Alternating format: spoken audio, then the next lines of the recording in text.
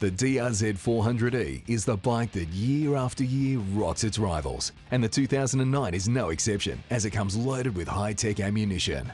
First up, the 398cc double overhead cam engine has four huge valves and liquid cooling, so you get a thumper producing great watts of power right off the bottom. A strong delivery that builds right through the mid-range and pretty much enough torque to grunt you up and over anything.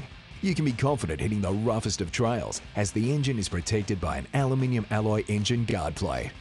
And getting started is easy as the bike is fitted with a rider-friendly electric engine starter with compact electric starter motor. When on the move, the easy-to-read multi-function digital instrument includes speedometer, odometer, dual trip meters, with both addition and subtraction functions, clock and a stopwatch with subtraction capability.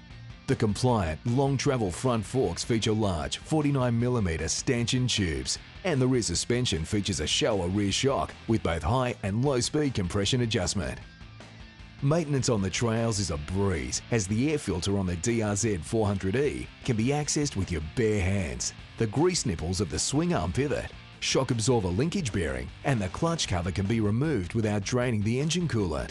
The Suzuki DRZ 400E is a fantastic trail bike and suitable for riders of all sizes. But as one of Suzuki's learner approved vehicles, this bike is perfect for people just finding their way off-road.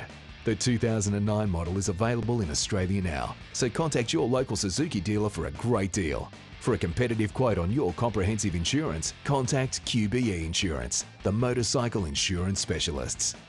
Time to hear what Billy and Jamie thought.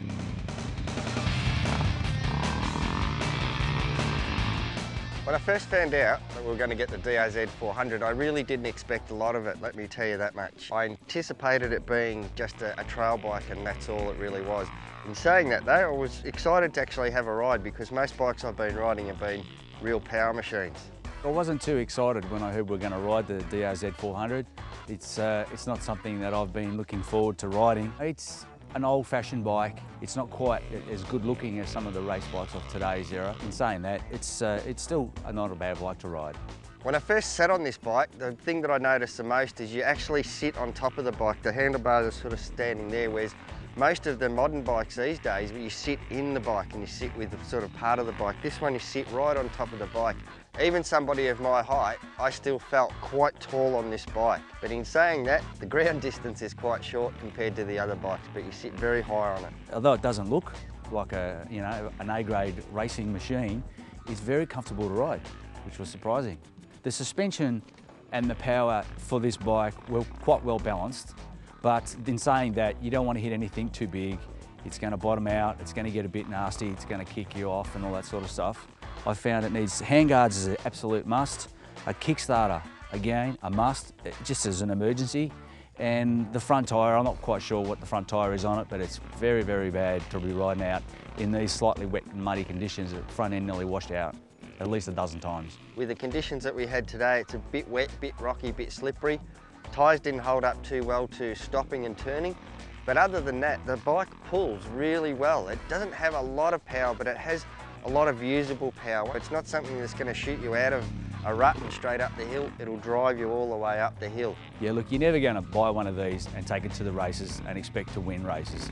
It's not designed for that. It's not going to throw you off the back and mono all over the place. It doesn't rev very quick, which is good for the intermediate and beginner, but it does get you around the track comfortably and safely. It turns quite well for what it is. It's a very comfortable bike to sit on. The seat's comfortable. All the ergos and everything fits in well. It really is a good trail bike. If I was going to buy a bike like this, I would buy it having one thing in mind only, that I'm going to trail bike ride this. I'm going to ride it from one destination to another. The DRZ 400 really handles the bush reasonably well. The overall package is quite good. It does need a few things here and there, but it does what it's supposed to do. My overall impression of the DRZ 400, two things you change, handlebars and tyres. Other than that, this bike's ready to go trail bike riding.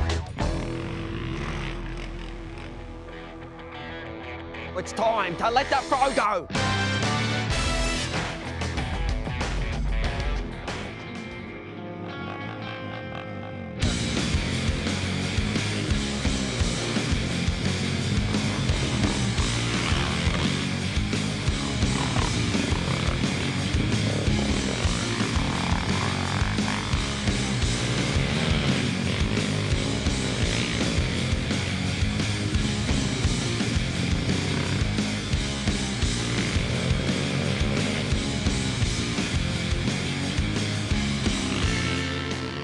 Well, the DRZ's turned in a great effort in the wet conditions. Now let's see what it can do in the Fro quarter mile.